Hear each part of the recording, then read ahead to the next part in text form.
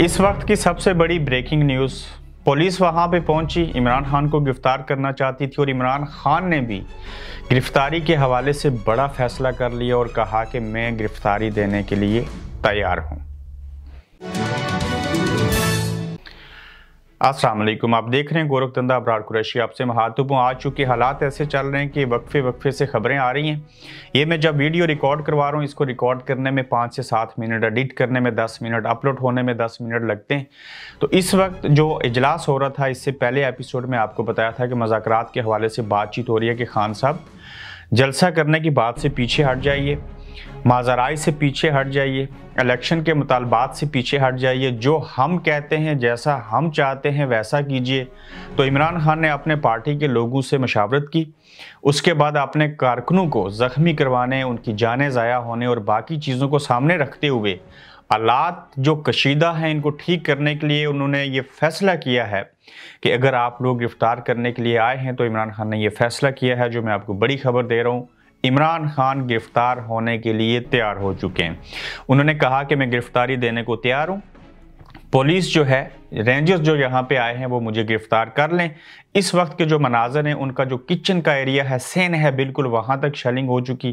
कारकुनान वहाँ पे तहाल मौजूद हैं, आँसू गैस की बेानतहा वहाँ पे आप देख सकते हैं कि हालात बुरी तरह से ख़राब हैं।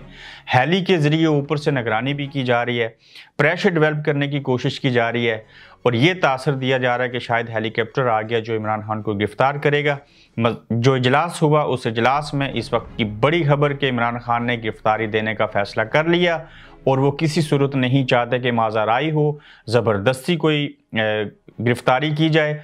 अब इसमें इसमें ये हमें लगता है कि जो एज ए सहाफ़ी में इसके ऊपर तजिया करूँ, अपनी बातों से पीछे न हटना इमरान खान को फ़ायदा देगा। माजाराई पहले भी थी, आज भी है। गिरफ्तारी अगर कर ली इमरान खान की मर्ज़ी के बावजूद उन्होंने तो इससे इमरान खान को मज़ीद जो है वो पॉपुलैरिटी मिलेगी। जलसे जुलूस तो बाद में होंगे, लेकिन इमरान खान की गिरफ्तारी उनकी ताकत में मज़ीद इजाफे का बायस बनेगी और ख़ास कर जो उनकी बेल के लिए जाएँगे, हो सकता है चंद रोज़ इमरान खान गिरफ़्तार रहें और उसके बाद वापस भी आ जाएँ, लेकिन ऐसे हालात में गिरफ्तारी का फैसला करना दानशमंदाना फैसला है। किसी बड़े फसाद से बचा जा सकता है।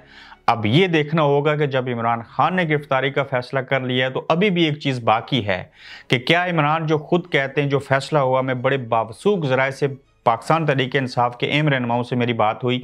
उसके बाद आपको बता रहा हूँ कि गिरफ्तारी का फैसला कर लिया, देने, गिरफ्तारी देने का फैसला किया इमरान खान ने।